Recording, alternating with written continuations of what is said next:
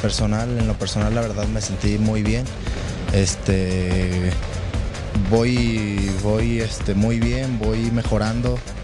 en la parte futbolística, que era lo importante ahorita después de una pretemporada.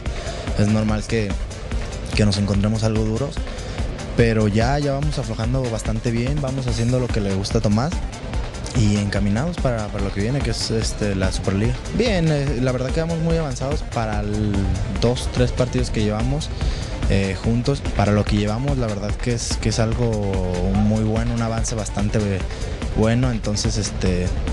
esperando que, que- bueno que lo antes posible se concrete el trabajo de Tomás como él quiera